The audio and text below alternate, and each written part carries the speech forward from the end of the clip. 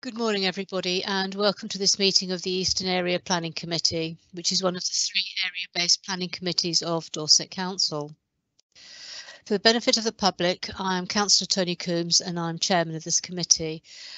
I would first of all like to introduce you to our officer support team today. We have Mike Garrity, Head of Planning, Kim Cowell, Principal Planning Officer, Liz Adams, Planning Case Officer, James Weir, Conservation Officer, Oliver Hayden, who's also Planning Case Officer, Chelsea Gollage, who will be reading out our public representations, Philip Crowther and Hannah Massey, who are our solicitors, and David Northover, our Committee Support Officer. I'd also like to thank all the officers behind the scenes who are making today's virtual meeting possible. Due to the COVID-19 pandemic, the Council has had to put in place measures to enable the Council's decision-making processes to continue whilst keeping safe members of the public, councillors and council staff in accordance with the government's guidance on social distancing by applying new regulations for holding committee meetings from remote locations. At the annual meeting of Council on the 4th of May 2021, it was agreed that all Council meetings that are not executive in nature would continue to be held virtually from the 7th of May until such time as social distancing requirements were removed on the 19th of July. We had hoped to be able to return to face-to-face -face meetings, however, with the uncertainty caused by rising cases in Dorset, the Council has resolved to continue with virtual meetings until later on in October. Where a decision is required, committee members will express a minded to decision in respect of the recommendations set out in the officer reports, with decisions being taken under dele officer delegated authority. Mike Garrity is the appropriate officer in attendance today to enact any minded to decision. The meeting is being live streamed to the public and a copy of the recording of the meeting will be available on the website afterwards. Public participation will take the form of written statements as opposed to public speaking. And we will follow the agenda as has been published. I will now go through the roll call. Do we have any apologies for absence, David?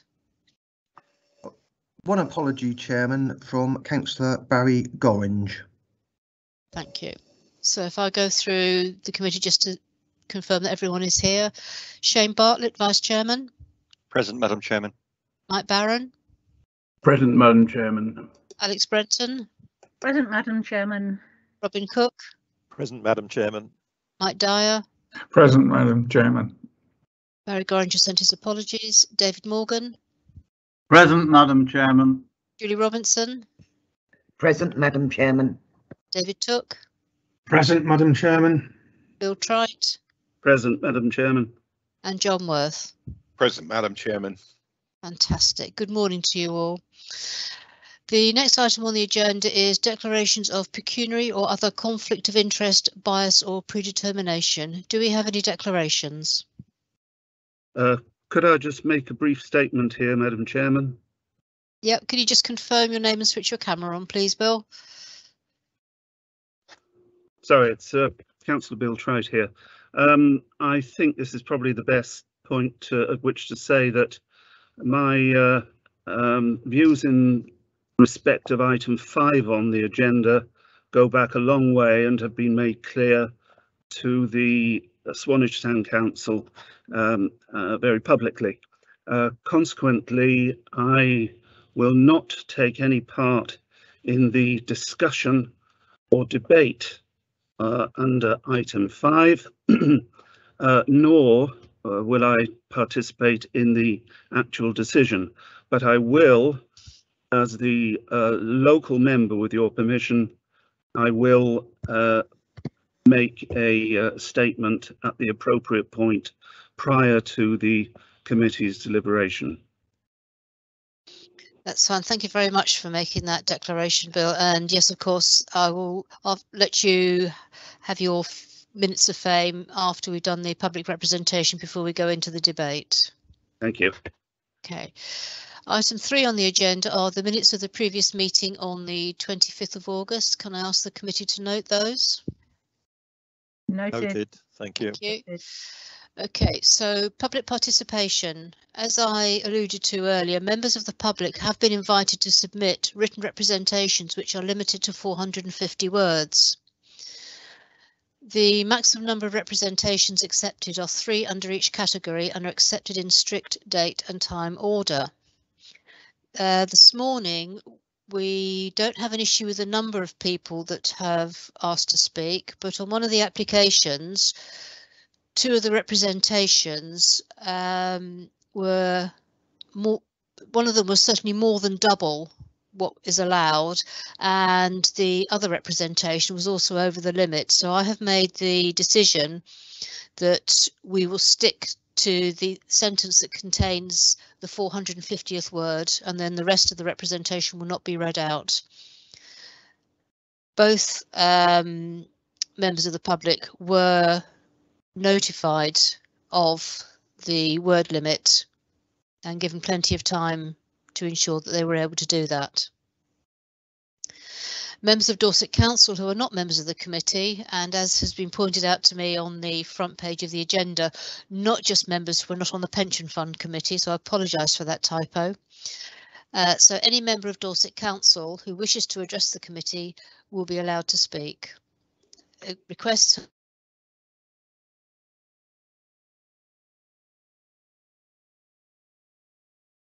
And David, did we have any members of the pub of the council that wish to speak to us? Uh, uh, none other than that uh, has already been accounted for, Chairman. Okay, thank you. And are there any representations from the public that do not relate to matters on the agenda today? No, Chairman. Okay, thank you.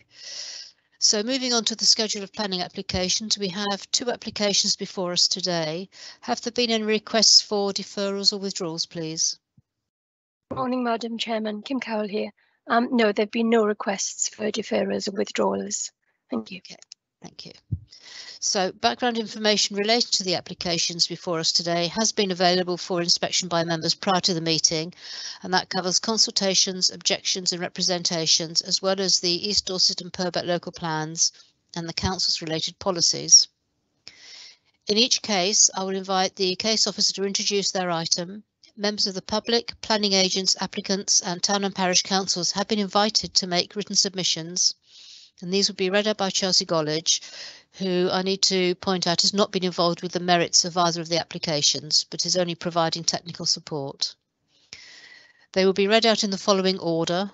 Public against the application, public in support, the applicant agent, town or parish council and then local member.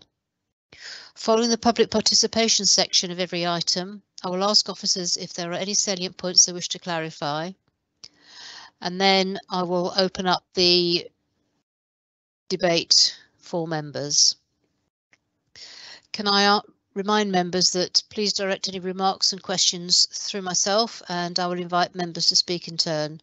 Requests to speak need to be made via the chat facility only, please. And please keep your microphones on mute when you're not speaking to maintain audio quality. At the end of the debate, for transparency, I will take the vote by roll call and the vote will be recorded as such in the minutes if three or more members make the necessary request. I will also ask members to confirm that they've heard the entire presentation and debate before they cast their vote.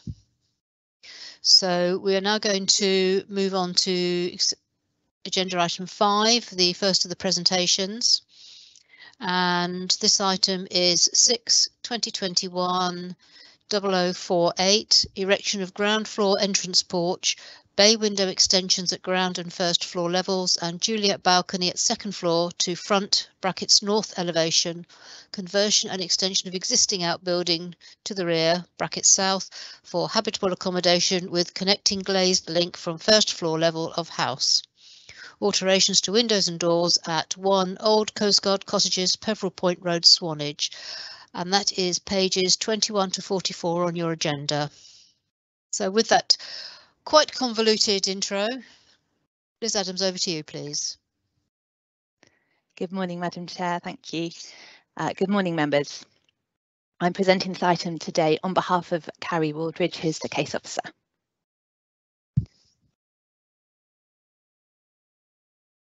Moment, please, while I find the right bit to click. Okay, so the nominated officer has identified this application to come before the planning committee in the light of the concerns raised by ward members and uh, ward member and the town council in relation to the impacts on the character and appearance of the surrounding properties and on the Swanage conservation area on neighbouring amenity and the Dorset AONB amongst other issues. Comments have also been received from local residents, both against and for the proposals. So the site is located in Swanage, and this extract from the Swanage local plan shows the site, uh, which lies within the area of high townscape value, which is the pink. And also we see here it's within the Swanage Conservation Area, which is all this coloured area. And zone five, which is the pink one, is basically a physical sub area within the conservation area, which has particular characteristics. So one old coastguard cottages is an end of terrace house and it forms part of an eight dwelling terrace um, fronting both the coastline and Swanage Bay. So the terrace is located at the far eastern end of Swanage Bay and it's, this area is accessed by a single road that also serves the RNLI lifeboat station and um, a number of other dwellings as well as the Coastguard lookout point at the end of Peveril Point. The relevant characteristics of the conservation area are set out at paragraph 15.3 of your report. Um, in brief, these are the largely undeveloped character of the sub-area, the uh, irregular pattern of buildings, although they're mainly rectilinear in, in form, the views across within and out of the uh, the conservation area, and uh, mixed architectural styles, including minimalist modern architecture, together with a consistency of materials, um, predominantly render, stucco, um, slate tiles. So this is the terrace, and this is our site here. And Old Coastguard Cottages, this terrace, is noted in the conservation area appraisal as having a simple yet bold form. Um, Historic England recently declined to list the buildings, but they are considered by your officers to represent undesignated heritage assets, uh, and that's for the reason set out paragraph 15.7 of your report. So uh, number one and number eight obviously form a sort of a bookend between the other two story properties. And the house is located on the long narrow plot, as we see here. Um, which is enclosed by a stone wall garden at the front and the garden to the rear rises steeply to Peveril Point Road. Uh, directly to the rest of the property as uh, a shared passageway and stone steps and there's also a passageway along the rear of the terrace which is, is a shared access. Um, that's located at ground floor level and then the rear gardens because they rise the outbuildings tend to all be on a higher level So the proposal includes changes to the front elevation. This is existing and this is the proposed. And these comprise a two-storey um, front bay window and a second floor Juliet balcony together with a side porch. So the proposed increase in the height of this uh, second storey window can be achieved under permitted development regulations and uh, it's not considered by officers that the glazed Juliet balcony will detract from the appearance of the dwelling. Then we've got the porch uh, roof here. Um, it's pitched, you'll see in a minute, but the front element references the front um, elements on the existing porches on the terrace. And although this proposed porch will be at the end here, it doesn't maintain symmetry because you can see at number eight, there's a much larger two-storey side extension that's been put on a long time ago, I understand. Um, in the context of the terrace and the conservation area, it's considered that the modest form of the porch um, won't result in harm to the conservation area, that is. Uh, the applicant has provided an indicative 3D drawing, um, but he has subsequently agreed that it would be appropriate for the element that separates the two bays, the glazed part, to um, be white. So I've just added that in just to under, so you can see the difference that makes, um, which is what is proposed on the uh, elevation plan anyway. These indicative plans are not part of the proposed um, plans condition, but I think it's helpful probably um, in the interest of clarity if uh, another uh, condition is added. So I've just worded one here um, this it could be this condition or you may want to change condition eight. Uh, so in the first instance and on all subsequent occasions, the ground and first floor front bay window should be separated by white panels to match the existing dwelling. Uh, and I believe that that would achieve a better consistency with the property at number eight. Um, subject to conditions controlling materials uh, which are proposed, um, it's considered that the changes to the front elevation will avoid impact on identified elements of the conservation area. So the rectilinear form of the plot is maintained, uh, the materials are characteristic in the sub area and the views won't be harmed. So uh, within the Zone 5 sub area, the modern design elements can be achieved without harm to the significance of the conservation area as a designated heritage asset. Uh, now, in respect of um, the property itself, um, NPPF paragraph, National Planning Policy Framework, that is paragraph 203, requires that when we're considering development that will affect a non-designated heritage asset, there's a need to make a balanced judgment. And this has to be in the light of the significance of the heritage asset itself and the scale of harm. So your officers consider the proposals will not result in harm to the historic interest or setting of the building, which is set out in the report, and won't make uh, an impact on the positive contribution that the building makes to the conservation area. Um, whilst the bay window is not identical to that at number eight, the two properties are viewed in the context of the terrace, and the bay will restore a symmetry of form with number eight with the addition of this projection, it's not considered that the changes would detract from the architectural interest of the terrace. Uh, so I've got some more photos of the context of the building. Also, those are just going to ping up again. And um, so this is the view from uh, the sort of the downs, the um, the cliff top walk that you can do. Um, over the top, you just mainly see the roof um, closer views of the property obviously obtained from the bridleway, and this is right up close next to the private um, back gardens. So um, looking at the side of the property, um, windows can be achieved in the side elevation under permitted development, although usually they would be um, obscure glazed above, uh, above ground floor level. Um, the main consideration is the impact um, in terms of visual on the side porch. And as we see here, it's, it's modest, as, as previously mentioned. Um, this section plan also shows the proposed rear glaze link into the existing outbuilding and then the extension back into the hillside, which is this element here, with the garden reinstated above um, just working through the other proposals. So you can see uh, there's some internal works proposed, but they don't require planning permission as the property isn't listed. Um, the proposed floor plan, we see here the, the bay window and the attached porch projection. And then at first floor level, this is existing. Uh, first floor level, we can see um, the side, sorry, side window uh, going to serve the living room, this one here and the existing window is increased in height to match um, to match it. That's the server landing. And then you can see the glazing in the rear of the porch at the roof level and the then the glaze link then that, that projects back to the outbuilding. And here we see the bathroom created from the uh, excavation into the hillside. Um, and here this is showing how where the glaze link would fit in to the building. At second floor, um, again, we've got a small window that, that is to serve an ensuite. And you can see the roof here. So existing mono-pitch roof will be replaced by a fully pitched roof, which is in keeping with other outbuildings serving the terrace. So these are photographs from the rear. Some works have already started to take place. They could be done under permitted development rights. Um, the old Coast Guard cottages have a range of outbuildings to their rear, which are mentioned in the conservation area appraisal as interesting. Um, there are varying sizes, heights, roof forms and ages, and they're positioned on the rising hillside at the immediately at the rear, as you can see. Um, so this is the yeah, what is it? This is the application site outbuilding. We've got the pitched roof element here and the mono pitch, which is to be replaced there.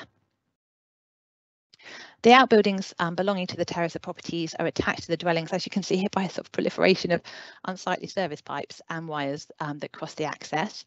And, and this is approximately the position at which the glaze link would would cross. You can see it extends towards the pitched roof part of the outbuilding. There are existing private steps, as we've noted already, up alongside the um, application site, which provides access to the raise. Uh, sorry, there's also steps along here and down here, which provides access to the raised garden to the rear. This shows how the outbuilding will look from the rear of the dwelling. So looking straight out of um, number one towards the outbuilding and also the um, section looking west from the gardens of the other properties in the terrace. So this is looking towards the shared steps with the link in here and then the flat roof element of the um, extension to the outbuildings. This projects approximately half a metre above the remaining garden. Uh, it's just a photo to remind you of the setting. And you can see here with this section again, um, the relationship with the garden at the rear. Now, concerns were raised by the council's conservation team about potential damage to the property from excavation works that are going to be necessary to create the rear outbuilding extension. Ground stability um, is obviously an important consideration, uh, particularly in this location, which could potentially be impacted by increased coastal erosion in the future.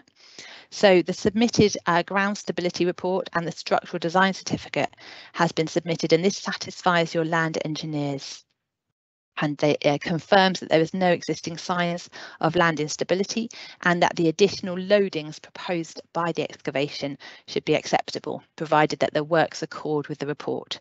So your officers have recommended uh, condition four to do that. Um, on a related topic, uh, surface water, obviously um, an issue. This needs to be drained into a piped drainage system to avoid any slope instability that could occur if we use soakaways. So that is intended to be secured by condition number five. I think there's been some concern by neighbours that there's nothing on the file from Wessex Water. It would be the requirement for the developer to agree uh, any new drainage connection that might be necessary with Wessex Water to achieve um, compliance with the condition. Uh, back to the impacts on the heritage assets.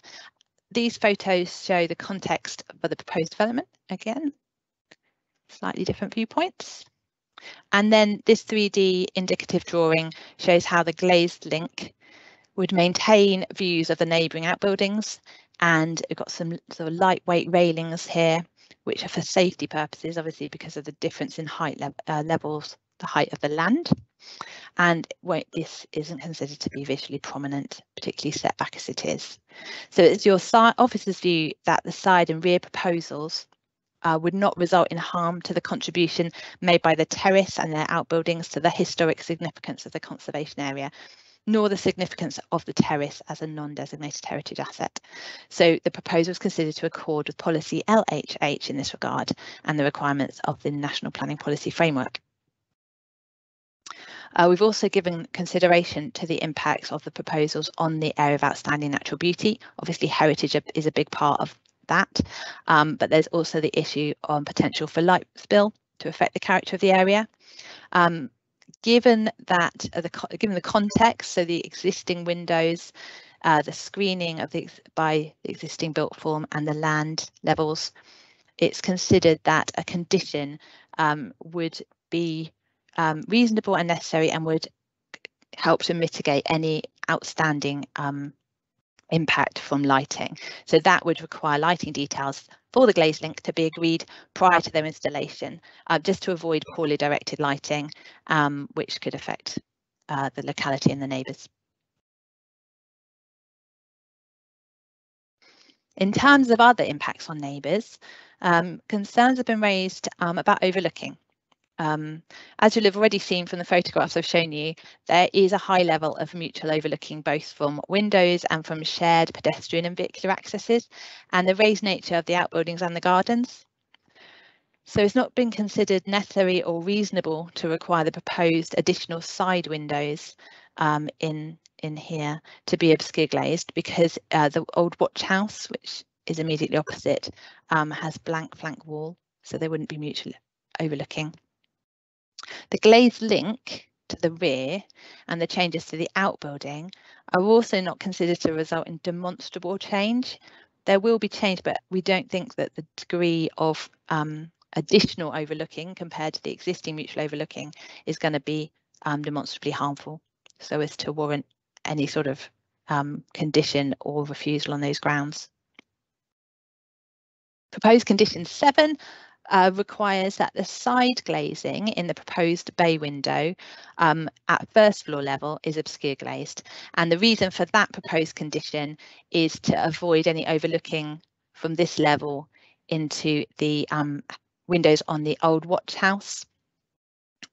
Also potential overlooking as it will extend into uh, number two. Um, there is already a panel at ground floor level which can be um, erected under permitted development rights, which provides some screening at that level uh, for the neighbour at number two. Um, other concerns relating to neighbouring amenity are set out in the report on pages 37 and 38. Um, given the physical site constraints, uh, we've required or suggested condition three, which requires that a construction environmental management plan is submitted to the council prior to commencement. So that would um, enable us to agree details such as um, access points, car parking for contractors, storage of materials, control of dust and things like that so that um, these details are properly planned in the interest of minimising disruption. In summary then, um, I'm not going to read out what it says on there. I'm just going to say for the reasons set out in the officer report and as I've just explained, your officer recommendation is one of approval, subject to conditions set out in paragraph 18 of the committee report. Thank you, Madam Chair. Thank you very much, Liz. Okay, we will move on to the um, public representations. Chelsea, would you like to read them out for us, please? Thank you, Madam Chair. The first comment is from Imogen Stacey, who objects. This cottage is a part of a row of terrace cottages that are almost 200 years old and were built in the original Regency style in 1826 by William Morton Pitt. The cottages have significant local and historical interest. They are located on the Dorset coastal path and are very visible on the coastline from the shore and also when at sea. All the cottages have had minimal changes made externally and any changes that have been made were in keeping and also most were made a significant time ago. I'm writing this email on behalf of my mother, Diana Stacey, owner of number two Old Coast Guard Cottage, and also the other objecting local residents. We feel that the plans will be very overlooking and create a further loss of privacy and light for current owners and residents.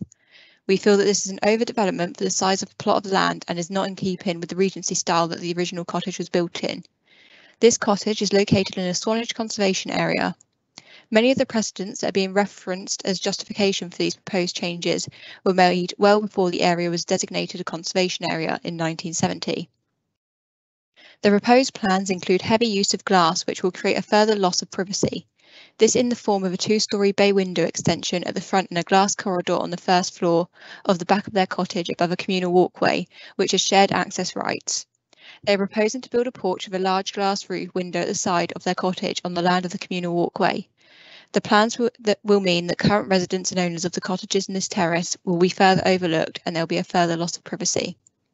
The proposed front elevation is too modern in style with more glass and also aluminium window frames in opposition to the Conservation Officer's recommendations and not in keeping.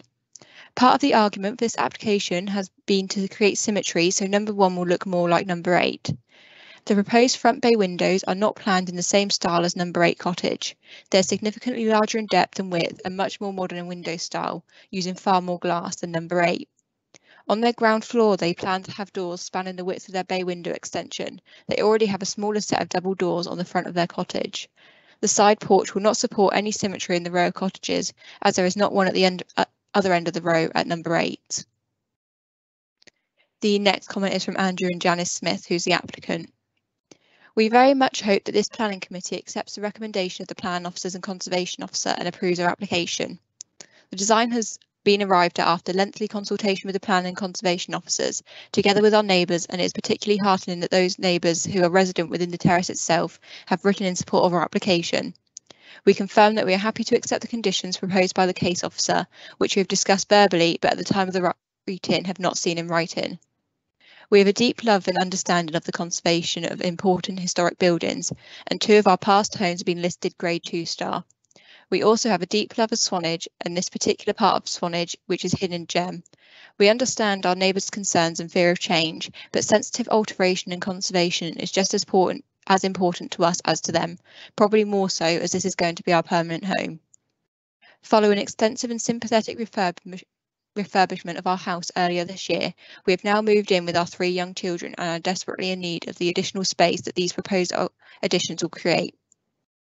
It has also become very clear that means of escape is a matter of the utmost importance.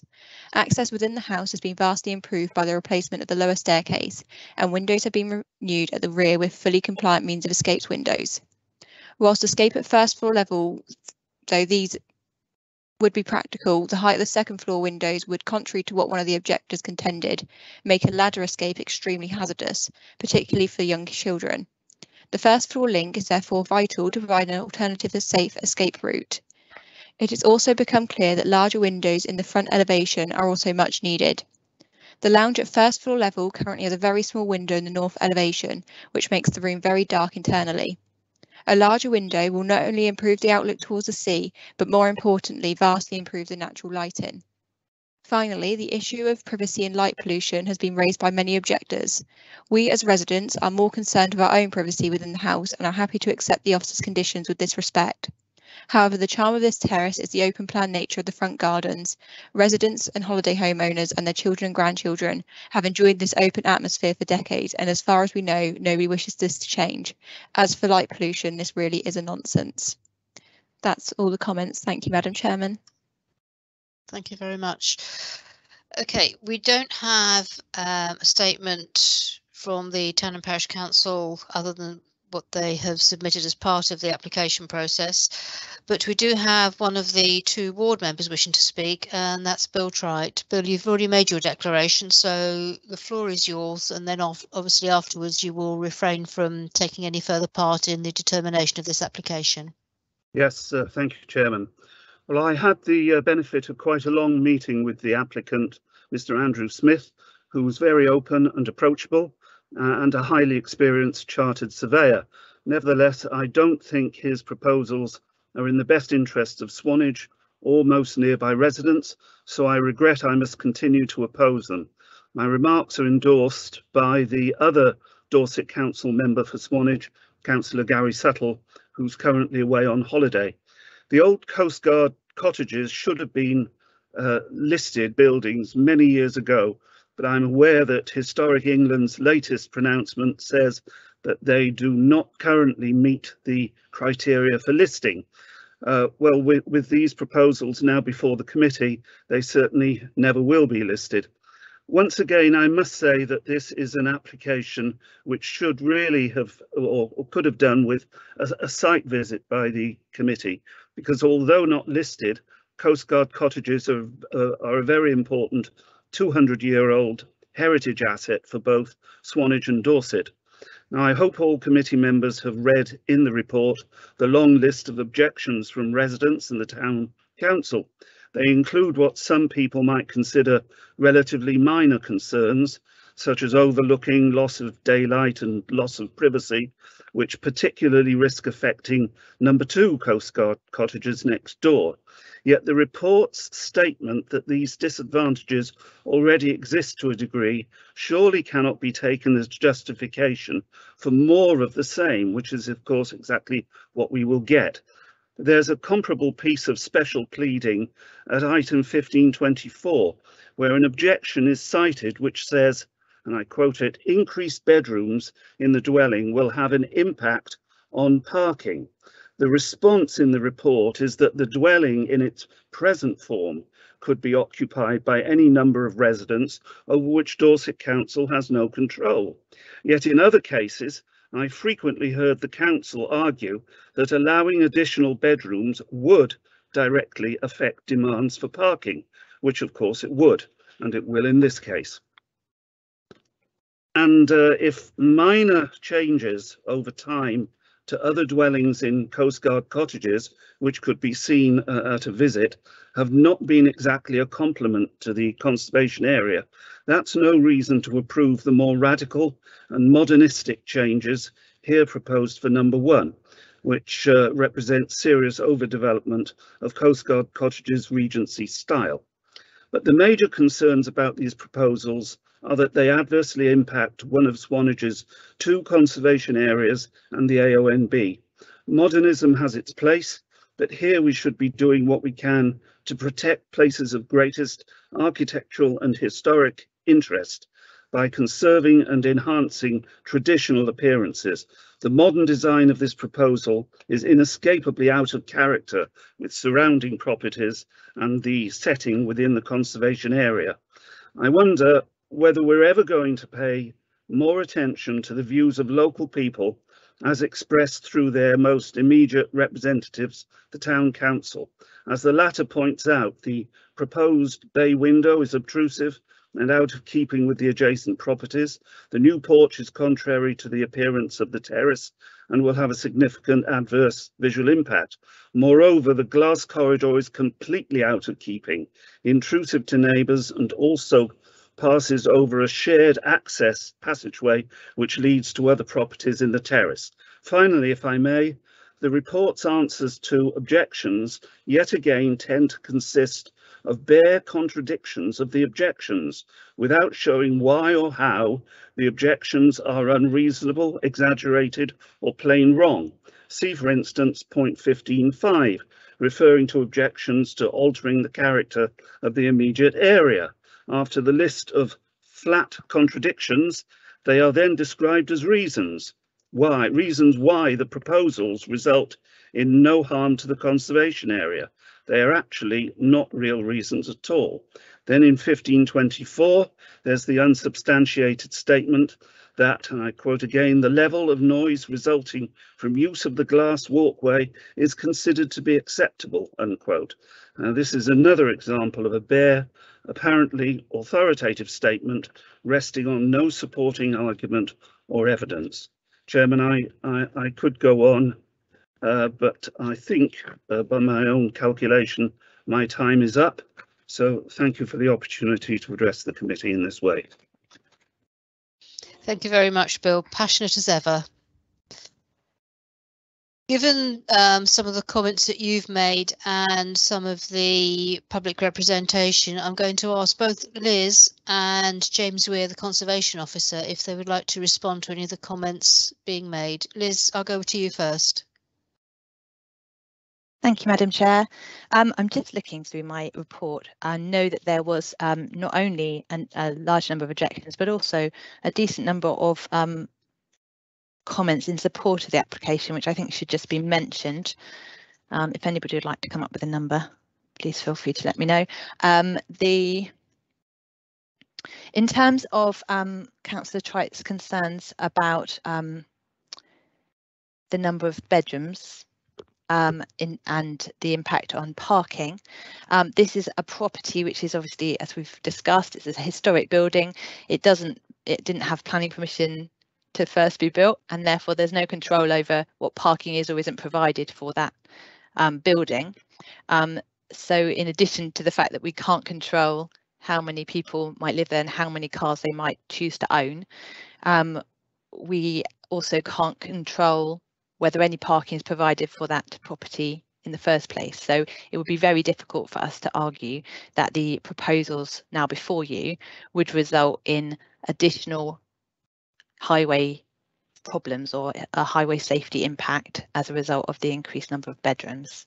Um, the noise issue that was raised just now, um, it it is you know it's it's a difficult one noise because until you have um, a proper noise assessment before you, um, and you'd need a noise assessment post and pre and post the development to be able to assess what the difference is. Um, we can't, you know, we can't give you hard evidence, but we have to say that this is a residential area where there are existing outbuildings, existing um, um, close proximity buildings to the dwellings that will all have some sort of noise impact during, say, a thunderstorm when there's heavy downpour, and the additional noise that would arise from, say, rain hitting the um, glazed roof of the the glazed walkway would not be um, to a degree that could be demonstrably demonstrated to harm neighbouring amenity.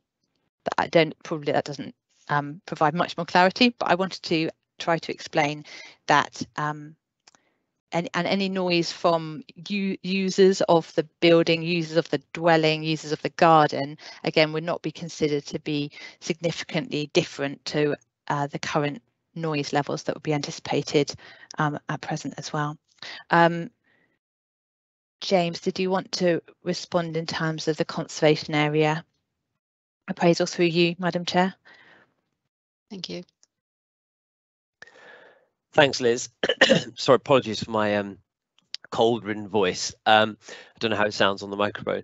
Uh, yeah, I don't have a, a great deal to uh, to add. Uh, in particular, the the assessment provided in the officer report was um, essentially based on my sort of dispassionate and objective assessment using the uh, the standard procedures set out in the NPPF, uh, understanding significance uh, and impacts. in terms of the conservation area, um, I think I heard it sort of said that that the proposals would result in significant adverse effects. Um, but again, we, we, we have to base those comments on how we understand the character and appearance of that conservation area to be uh, in order for it to have substance. Um, again, the, the, those uh, characteristics which I've sort of identified were drawn out of the conservation area appraisal. Um, again, there's no sort of summary of, of, of, character and appearance for zone five, but um, I believe the features that that I've drawn out sort of adequately cover the uh, the thrust of, of the appraisal's assessment of that particular area. Um, and applying that, however uncomfortably uh, the result may, however uncomfortable the result may seem, applying that to the, applying the proposals to that uh, sort of resulted in in our conclusions. Um, and of course, you know the uh, the historic England, uh, the result of their listing is is also undertaken to their own objective assessment. And again, those results can often be uncomfortable as well. But unfortunately, um, the, the, realities are are what they are. Um, yeah, so I don't have anything else in particular to, to say other than that. Madam Chairman, Kim Cowell here. If I may just come in very briefly. Um, Liz at the beginning asked if if somebody could assist with a tally of how many letters we'd had in support. If if I can draw members' attention to page um, 27 of the agenda, you can see there's a small table there which identifies, and the table reads total objections 42, um, total um, no objections, oblique support 25, and other comments 7. Thank you. Thank you for that clarification, Kim. Okay, um, I have one speaker and one request to look again at the view four that we're looking at at the moment. Um, I'll come back to you in a moment, Julie. Alex, do you wish to speak? Uh, a question, please, Chair, to, through you to the officers. Um, the depth of the proposed porch for number one, the, the amount it projects from the front of the property compared with the projection of the existing bay windows on number eight would be an interesting um, comparison. And also the pitch on top of the bay windows, which is shown in the indicative drawing as being completely flat pitched on top of the second on top of the first floor roof of the bay window. Is that so, or is there actually a, a slope there? Thank you. Liz, do you want to come back on those questions? Yes, thank you, Madam Chair. I will need to check the depth. I don't have it before me in terms of this, the depth on number eight. I know that the depth on, of proposed on number one uh, was on the plan I put up just now. So somebody asked for the the link, so so that's why that one's before you. And if I could just um, Liz, do you have, there's a further request saying, uh, do you have a slide showing the walkway from the top of the steps looking down? Um, not a not a plan view like this, these indicative 3D ones, no. Um, you can see if I, oh, I have to remember which way my um, slideshow goes. One minute, please. Uh, I think if I go this way, we can see, uh, so this, it would be just glimpsed maybe um, at sort of that height, first floor, and then it's coming from this door out across. Um, so again, you would you would glimpse it there, and again from this direction, you would see it come across. Actually, you probably wouldn't even see it there because it would be hidden just behind the uh, the roof of the outbuilding, which is the neighbour's outbuilding. It's that one there in that view. Um, if you will give me a couple of minutes, I can look up um, the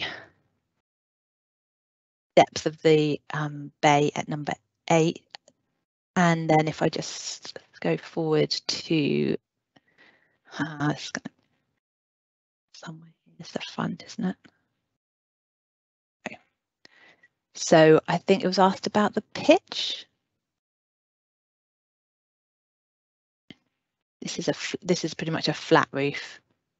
Um, and yeah, sorry, if somebody could remind me what the question was in, in relation to the pitch. It was it was um, about the projection of the porch.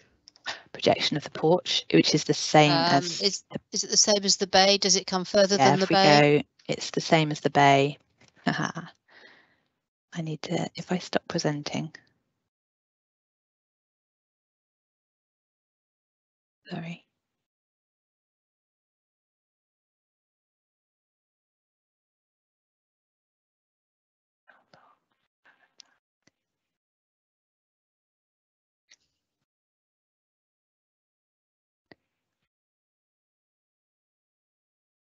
Can you see that? It's marginal, isn't it? It's pretty much the same, that the, the roof might be slightly over. But otherwise it's in line. Okay. Julie, does that answer your questions? Sorry, Alex. I'll get it right in a minute. Alex, you asked the question about the porch. It wasn't so much the porch because I can see that the porches of the other properties project a bit as well. I wanted to know really the projection of the sort of the bay window and upstairs, how much it would project out because that affects obviously overlooking. Um, so thank you for that. But like, it- how much does the bay window on number eight project? Is the sort of can we play symmetry or is it a- very much asymmetrical? That was my Uh, question. yeah. really. Um, through you, Madam Chair. Mhm. Um, I think the I, can I can try and look up the how much it projects, although I don't think I've got um, a detailed plan. But um, from an from the officer's perspective, although they they're not um, they're not symmetrical in terms of you know all their detail or even potentially the, the exact depth, because they're seen at either end of the terrace.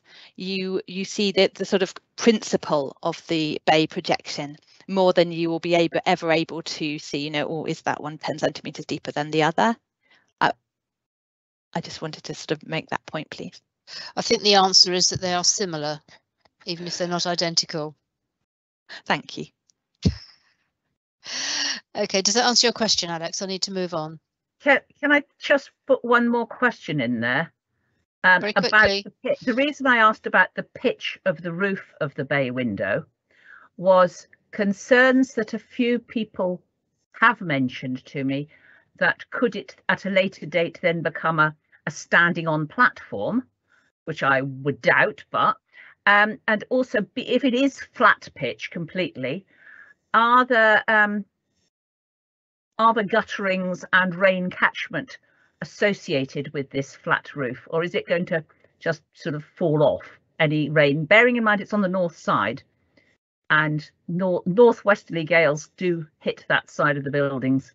I just wondered, in terms of the future, are we asking for a sort of a to be sure that it's not going to become an issue with rains shooting off and going in, over next door?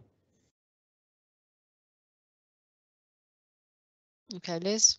Thank you, Madam Chair. Um, it's a, it's a good question. It's not what something that I have particularly um, concerned myself with at this stage. Um, the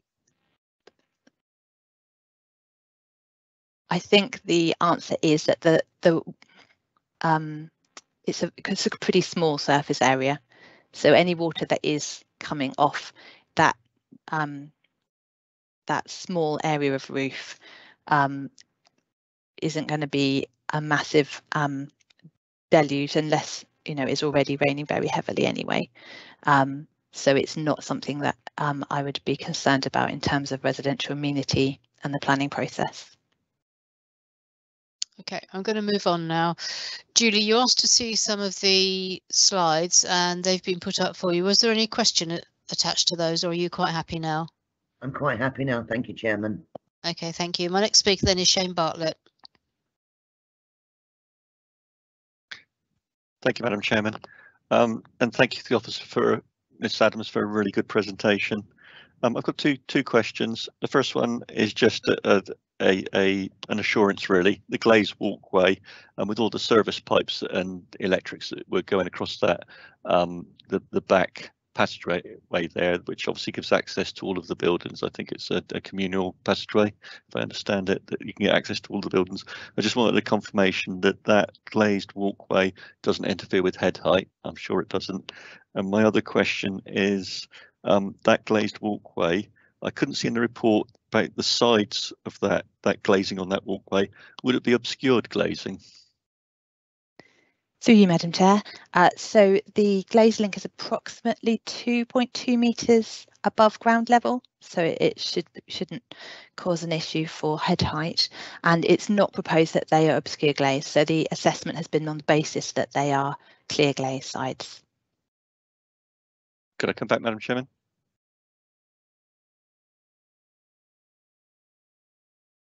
Um, could I come back, Madam Chairman? You're you're on mute, Madam Chairman. Sorry. Sorry. Yes. Thank you. Thank you. Um, so the the officers were happy with it being non-obscured glazing. Do I understand that to be? Yeah. That's it. okay. So it would be possible to put into a condition that the side panels would be obscured glazing um, to ensure privacy both for the occupants of um, number one and for the other occupants in, in the terrace of Old Coast Guard cottages? Through you, Chair. So um, our concerns doing that would be that you then it would become a much a sort of visually weightier structure.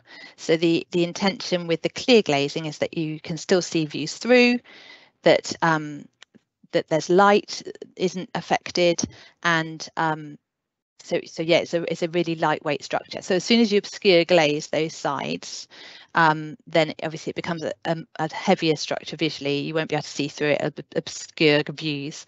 Um, so we've considered it as submitted with with the clear glazing and have considered that because of the uh, already the mutual interlooking that's going on in that area and um, yeah, because of uh, the use of the outbuildings and um, the pre-existing overlooking from from the hillside, that actually, on balance, the um, you know the neighbouring level, the impact from just that glazer link on neighbouring amenity isn't isn't going to be harmful.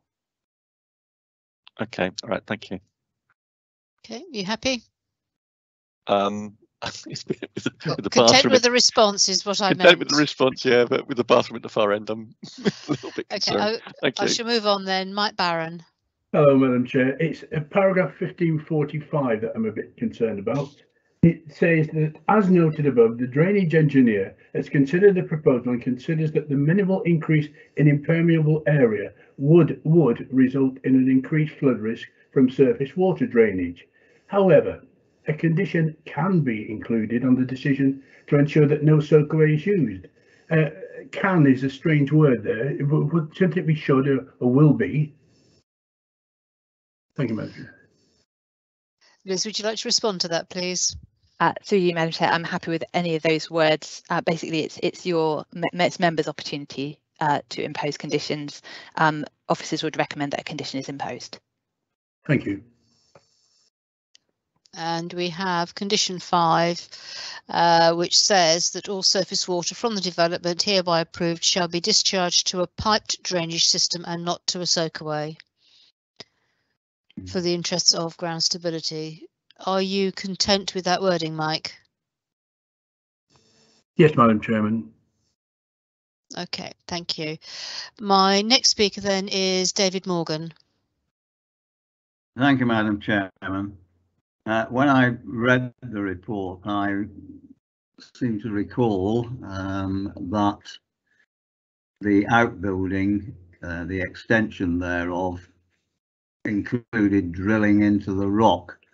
And I just wanted assurance about the stability of what is proposed because um, one of the, um, objections I think was the fact that um, it could affect the stability uh, of, of that terrace.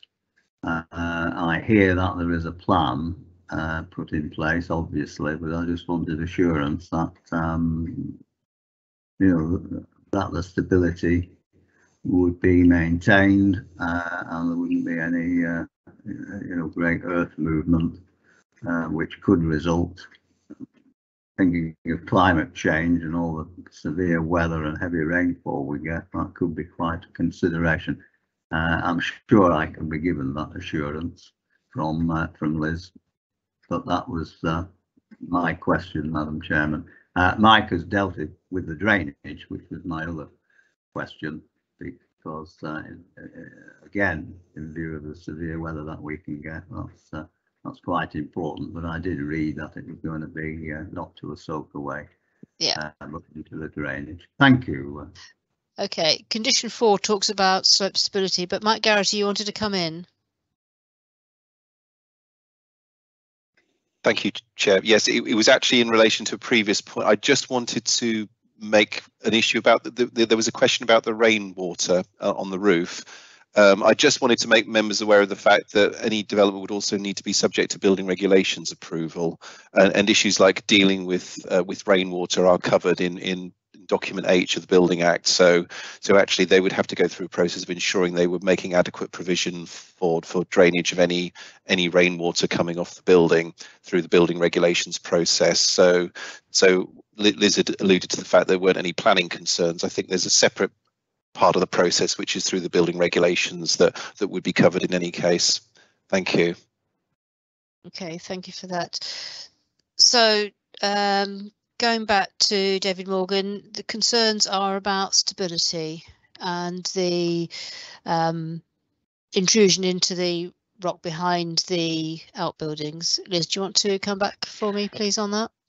Uh, thank you, Madam Chair. So um, the, the, comments that Mike has just provided are, are very relevant here too, because um, as planners, we've um, got the assurance from um, having a ground stability report in the first instance that our land engineer has checked and it has been um, satisfied that at the moment there isn't any ground stability issues that we should be aware of when making this decision and um, that has considered what the additional loadings will be from the proposal and is satisfied that they should be adequate.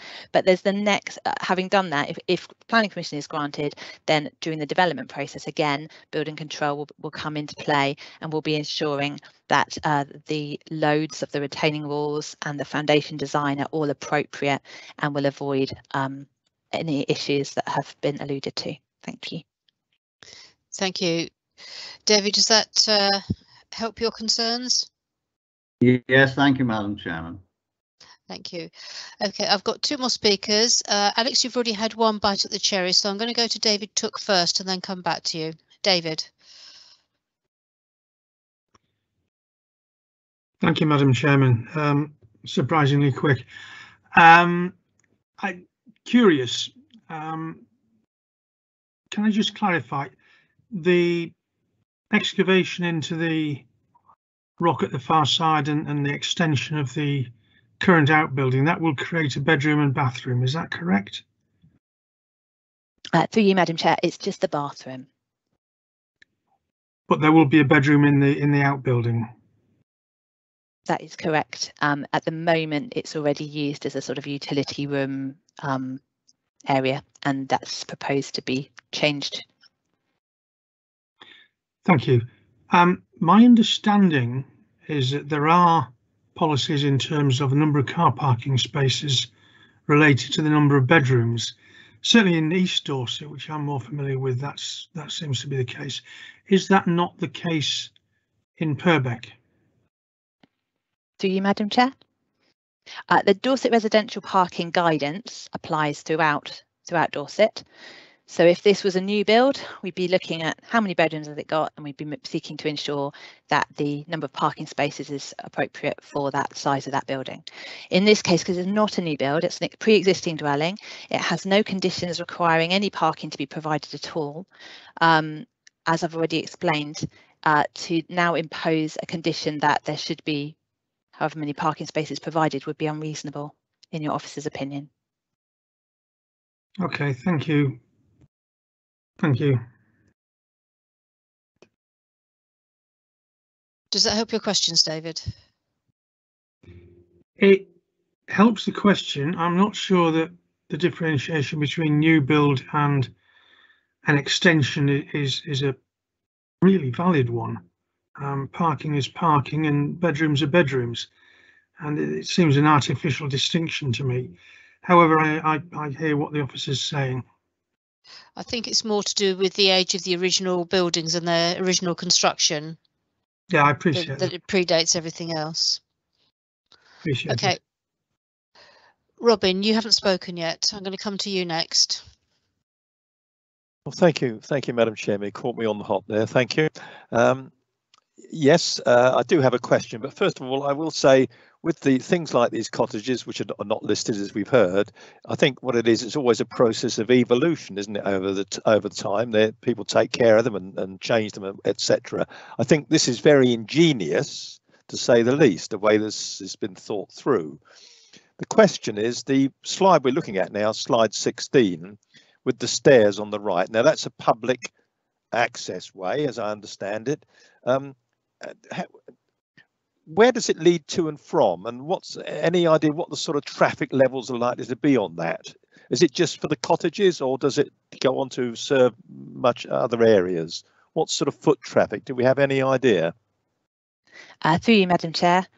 Um, so at the top of uh, the, the steps there there's a gate and it says private on it. So it's a definitely a private access um, used by my understanding is those who reside in that little area. So there's the eight cottages that form part of Old Coast Guard Terrace, and then there's um, the the watch house. I'm going to get the name wrong. I apologise. That's next door, um, and then there's uh, houses further beyond, but it's likely that they would use the the bridleway of the private road basically to get up and to the top and this is the bridleway along the top here but as I say from from the bridleway it's a private no trespassing type situation so the foot traffic would not it would be relative to the number of people who live in the, in the properties and rather than high. Thank you. If I can just come back, Madam Chairman, so one would never assume, but I think it's safe to assume then it's not likely to be frequented by hordes of people on day trips going down to have a look. Uh, basically, that's it. So with that glass, bearing in mind what Councillor Bartlett said about, you know, infilling the glazing or obscuring the glazing. Okay, that's fine. I, I'm happy with that answer. Thanks very much. Okay, thank you. Alex, you wanted to come back. Uh, thank you, Chair. Um, actually, I just I've not have not got a question. I thought we were beginning to move on to comments or discussion. Is that all right? I roll it all into one. Okay. Um, so I'll just say my piece now. I think. Um, I note in the on the documents there have been there has been an awful lot of buzz about this on, in sort of people writing in and making comments. And surprising number of them because i assumed when i first started going through them that they would be from locals saying don't touch our swanage. But in fact a surprising number of the opponents to this are people who have used this terrace of, uh, of cottages whether this particular property or one of the neighbouring ones as holiday homes. This is a very much a holiday home area. And the first thing that they all say is when they're in Swanage, they are out on boats and they like to look back at the cottages. And this is a very significant terrace in terms of the sea view. It's easy to say, oh, well, you know, nobody really sees this apart from very, very close or very, very far away. But there is, because Swanage is a port, there is an awful lot of boat traffic in and out. It, they may not be big boats. So I was quite surprised at how much opposition there was to this from holidaymakers, not just from the local Swanage heritage groups and people like that. And having been out in the bay myself and looking back at the Coast Guard cottages, I think we do have to bear considerable account of what they look like from the sea because so much of Swanage has been altered. There's only a few bits where you just go, oh, they look nice. Um, there's a lot of very modern stuff, and this putting modern glazing um, fenestration down the front of a sort of 19th century building does change the atmosphere. I know that number eight has got some slightly more, I mean, not very modern, but um, should we say this century uh, glazing to the front, or probably last century actually now, isn't it? Um, but I am worried about the view from the sea um, as a whole. That is a sideways on picture that's on the screen now. Uh, but if you look at say the Airbnb pictures where they're selling these cottages as holiday homes, it is very much a full four square sort of shot that they show. And the symmetry between the both ends is quite important. Um, and I just think we do need to bear in mind very much this business of making sure that we don't pick away at our uh, built heritage in places like Swanage. Um, so that concerns me. My other bit is that, uh, and it says in condition seven, this business of overlooking and um, whether it's intrusive to the neighbours. I see that in in um, and it is rather dismissed in some of the um, officer report that oh it's no worse than it was before sort of attitude. Um, no, no additional harmful impacts and all that. Uh, but in condition seven, we say that this, or one of the conditions is that the side panels of the bay window should be obscured and non-opening. Well, I mean, my instinct is if you have to obscure glass, it is intrusive. Looking at a at, at a obscured glass window is actually more intrusive than looking at a clear glass window. Um, what if you are living in number one and you have a bay window looking to the north, but your first instinct is going to be to look to the east for the sunrise and the west for sunset. So you are creating a sort of glass tunnel that only lets you look north. That isn't the point of a bay window. So I wonder how much you know, if we've got to impose a condition like this, then surely it is wrong to start with. That tends to be my instinct at the moment. Um, the glass walkway at the back, in some ways I have less issue with because I agree that obscure glass there would actually make it seem a much blockier and intrusive um, building. But I am concerned because obviously that that back passageway is where people carry in furniture, equipment, and even 2.2 if it's clear glass. You know, you think of carrying a sofa in. It, this is quite restrictive for other residents' use of that back passageway because everybody's a little bit wary of glass. Um, and the other thing, of course, is that if you are walking down that walkway, and this is reputed to be from now on a holiday, a, a family home, which one assumes is children as well. There, it it's a lovely place if you're a child to stand and see what the neighbours are up to. They might walk straight through. Adults would walk straight through, but you can imagine kids play up there, sort of um, having quite a nice time, sitting in the warm, in the sun, because that's the south side of the building, so it's going to be sunnier, and um, I'd be, I'd be sitting there quite merrily reading a book or playing marbles if I was a kid. These modern kids perhaps do other things. So I do wonder about the intrusion intrusion factor of having that walkway there. Uh, so I am still slightly undecided, but my instinct is I don't like the effect on the front, and I think the walkway at the back could become, in effect, almost another patio because it's going to be lovely and sunny. Thank you. Okay, thank you very much for that, Alex. Shane, you wanted to come back.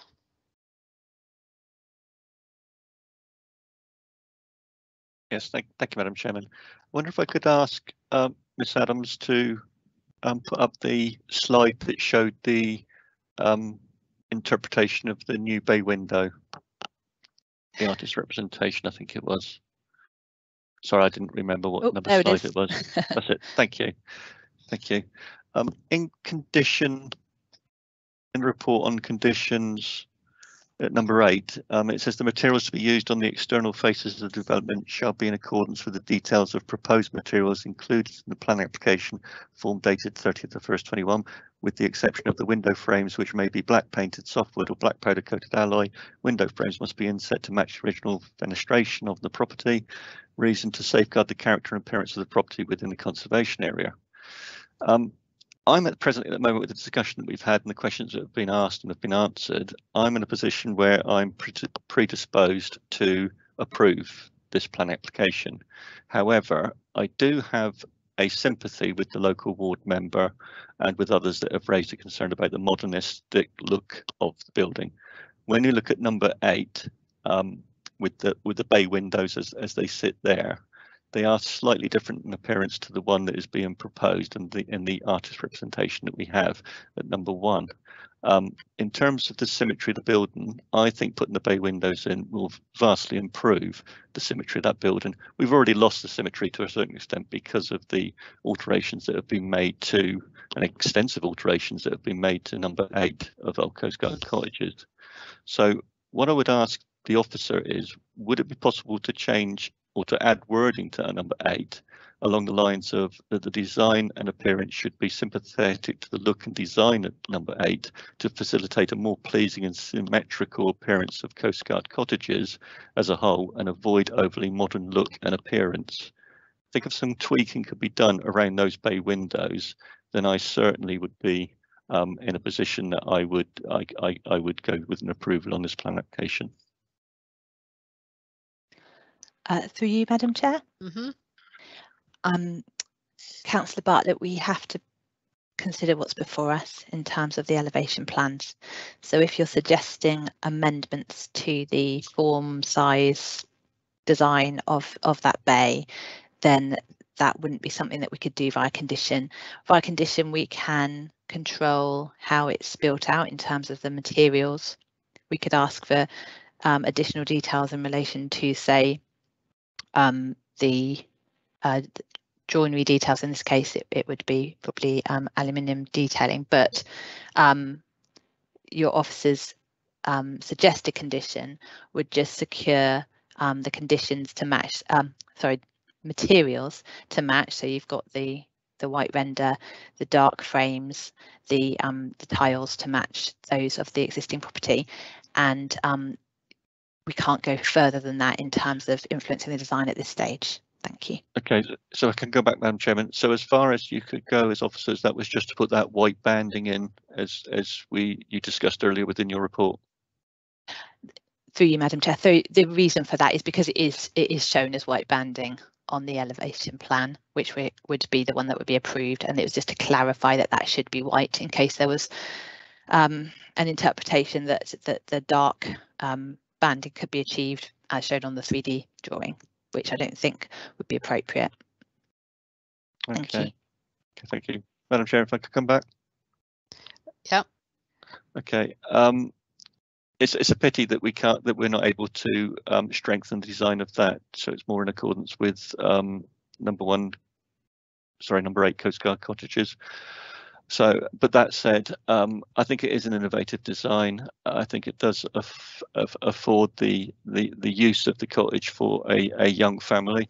Um, I, I think that the the use of the of the of the building to the rear and the alterations that are going to be done there, I think are, are acceptable. And I think as as as it's been laid out within the report, it's not a listed building. It is subject to having uh, additional works done that. And I think um, Councillor Cook summed it up perfectly when he said that these types of buildings do evolve over a period of time. And I think on the basis of all of that, and as laid out in the officer's report, Madam Chairman, then I'm minded to propose that we um, approve as a minded to decision. Thank you. Okay, thank you. does that include the extra wording that Liz spoke about at the start of her presentation? It, it does, Madam Chairman. Okay, is there a seconder, please?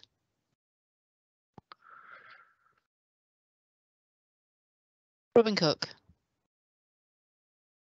Yeah, happy to second, Madam Chairman. Thank you on the basis of what we've seen there and with the uh, amendment as shown on slide eight. Okay, thank you. I have no other speakers, so I will put it to the vote. So roll call. Shane Bartlett. I have listened to the entire presentation and taken part in the debate, Madam Chairman, and I am minded to approve the decision. Thank you. Thank you. Mike Barron. I've listened to the debate, Madam Chairman, and also taken part, and I am also minded to approve. Thank you. Alex Brenton. I've listened to the debate and taken part, and I am I reject or I vote against the proposal. Okay. Thank you. Robin Cook. Thank you, Madam Chairman. Uh, I've seen the present full presentation, taken part, listened to the debate, and I'm minded to support the recommendation. Thank you. Mike Dyer. Uh, I've been present throughout, listened to the debate and the presentation, and um, I'm minded to approve. Thank you. Barry Goringe isn't here. David Morgan. Thank you, Madam Chairman. I've listened to the debate and taken part, and I'm minded to approve. Thank you. Julie Robinson. I've listened to the presentation and the debate. Um, I'm split, to be honest. I'm happy with the front, but I'm not happy with the back, so I'm going to abstain. Okay. Uh, David Tooke.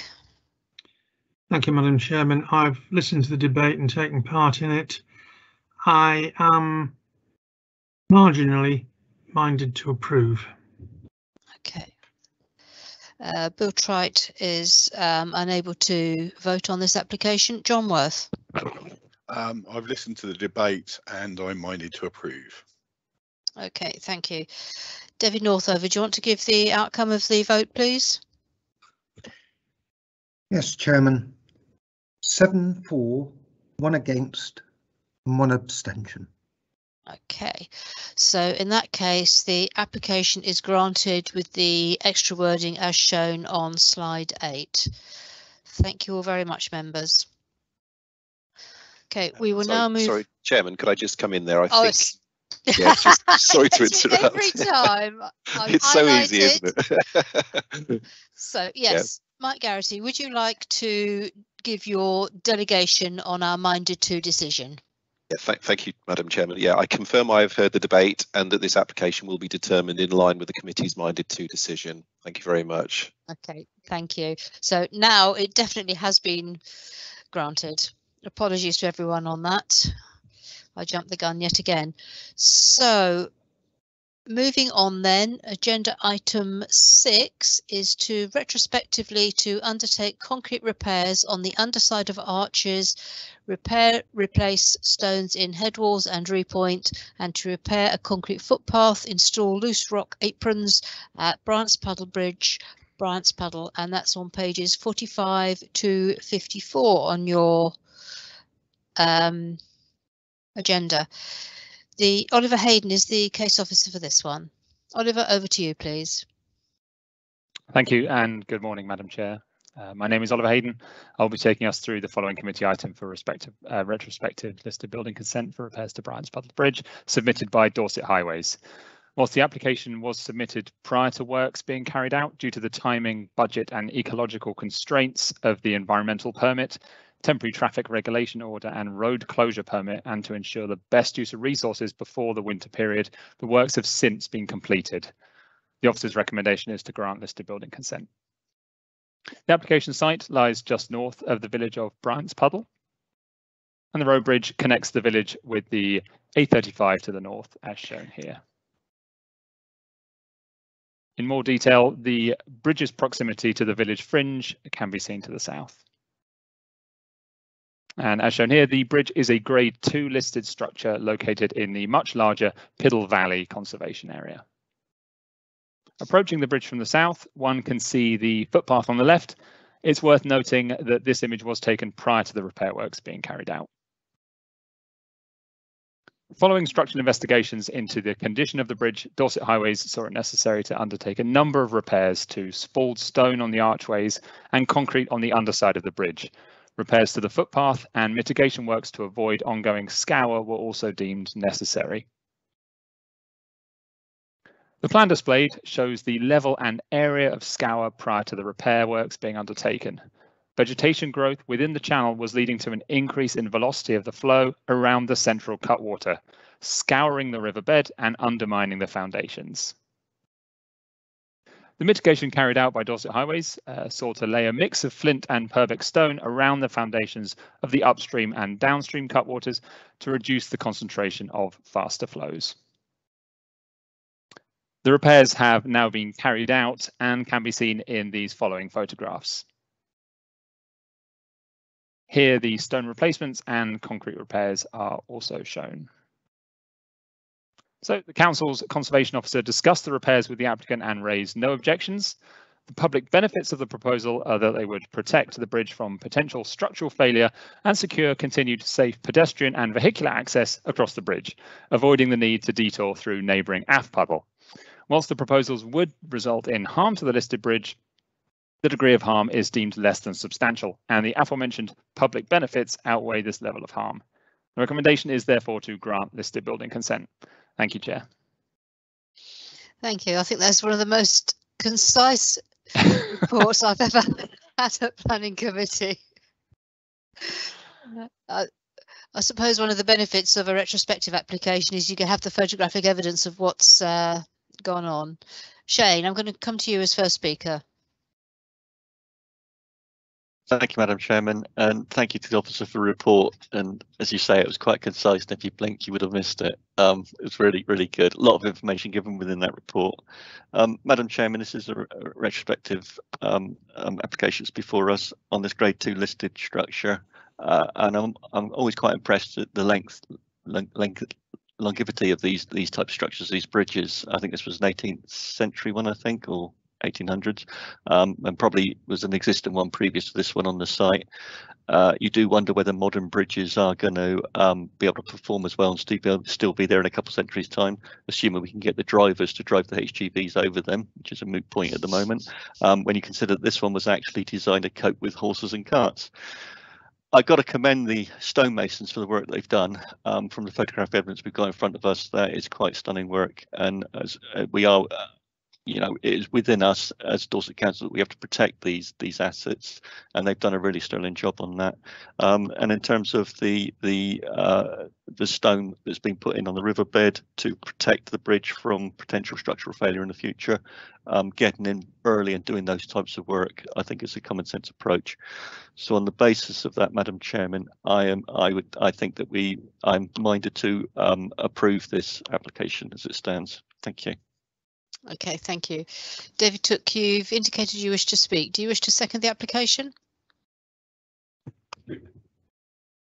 Thank you, Chair. Uh, yes, I will second the application. Um, I, I, think the the repairs have been done quite well um, from what I can see.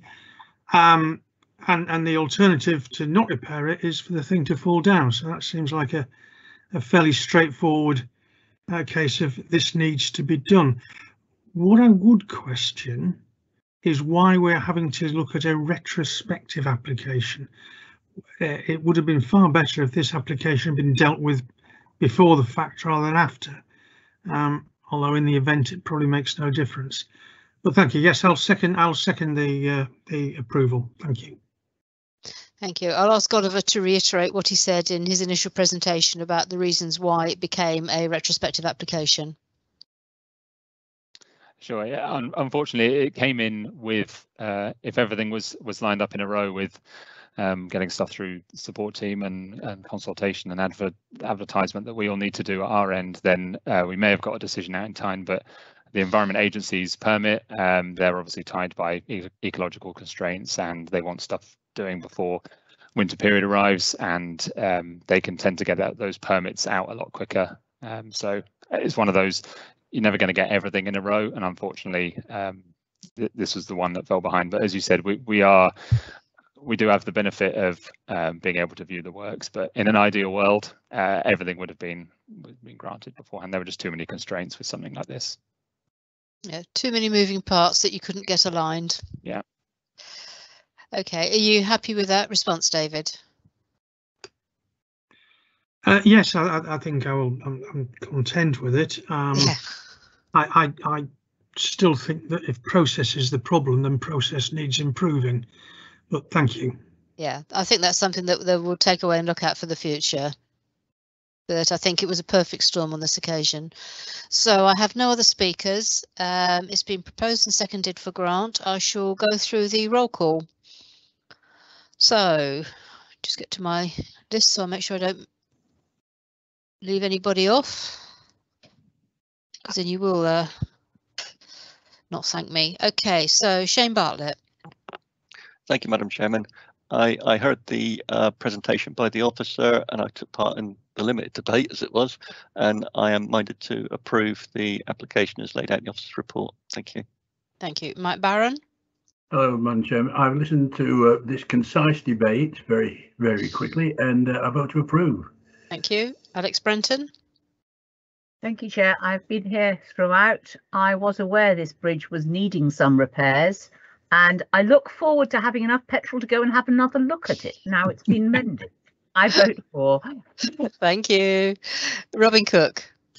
Thank you, Madam Chairman. Yes, I've uh, seen, the, listened to the full presentation and the debate, and I'm minded to support the recommendation.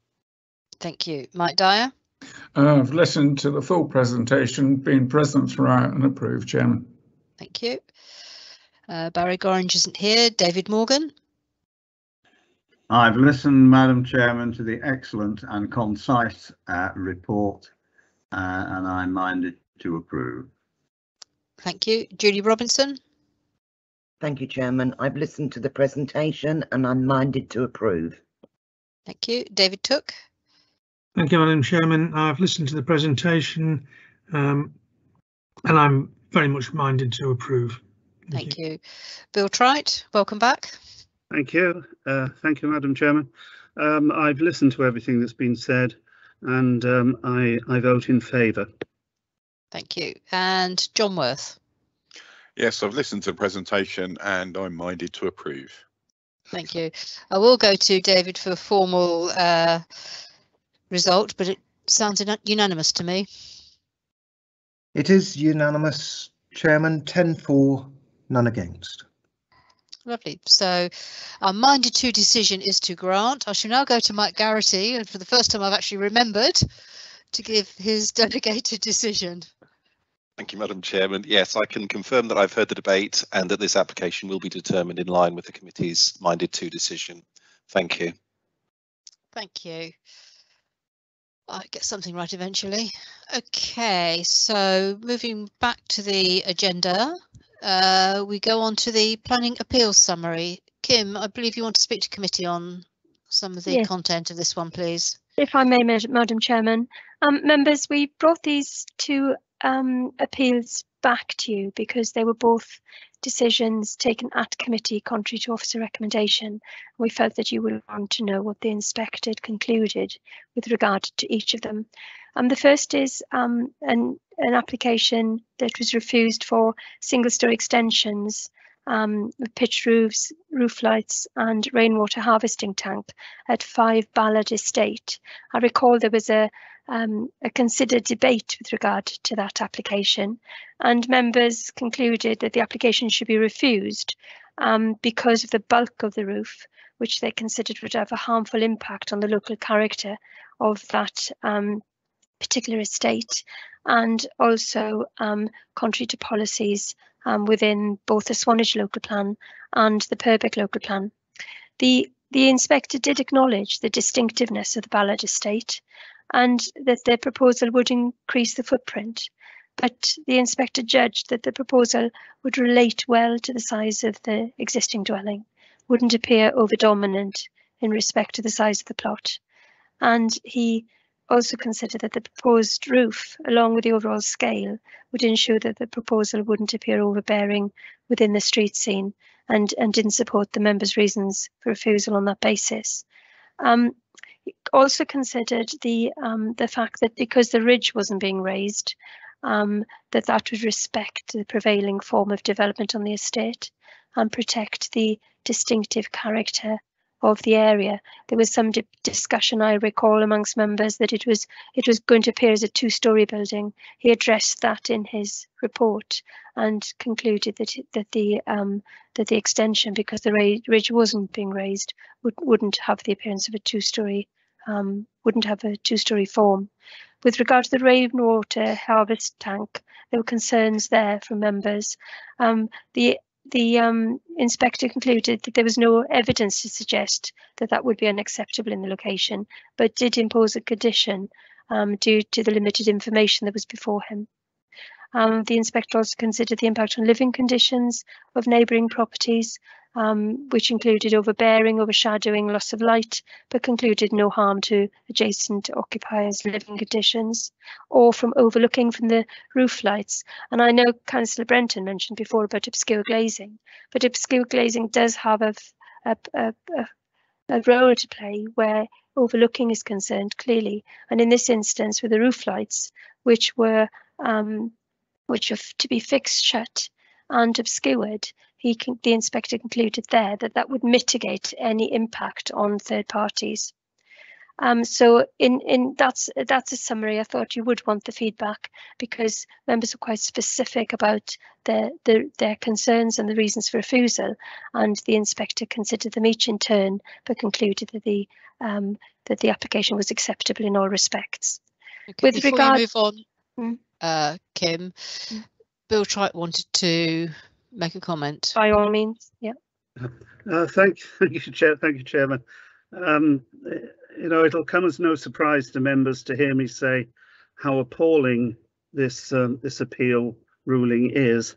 I don't know whether I'm allowed to call an inspector naive, but if I am, I hereby do so, uh, because what uh, has been decided literally contradicts decades of, careful determination to protect the special character of the Ballard estate, where single story buildings are in very close proximity to each other since they all derive from old um, First World War army huts, which were of course themselves very close to each other.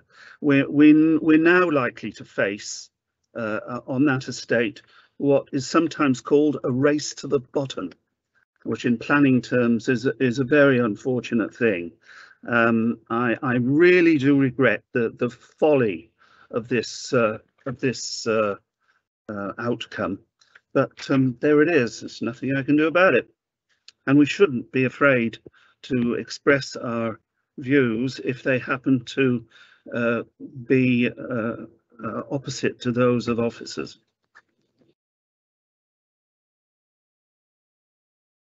You're on mute. Thank, I know, I've just realised. Thank you very much, but I, I know where you're coming from on this one. Kim, you wanted to continue? If I may. Um, the second application that um, went to appeal was um, a proposal for a single storey rear extension with a sedum roof at Misty Cottage in Worth, Matravers, um, which was refused at committee in January 2020. Um, the reasons for refusal were for reasons of overbearing impact on a neighbour of Rose Cottage and um, the impact on the setting of a grade two listed building and on the conservation area. Kim, just um, to interrupt your flow mm. very quickly, members will recall means. we did a site visit on this one. Excellent, thank you.